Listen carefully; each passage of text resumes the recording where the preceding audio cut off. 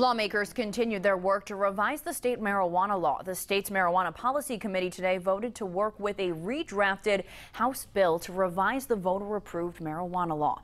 Speaker Robert DeLeo pulled the proposal from House debate last week. Under the House bill, pot sales would be taxed at 28 percent, but the 28 percent rate is not a done deal. Total taxation is a big difference between the House and the Senate. I think in conference, you know, will that'll get reconciled down to something, um, you know, that I think that'll be palatable for everybody. The House is expected to, to to debate the bill Wednesday. They hope to complete their updated marijuana regulations bill by the end of the month.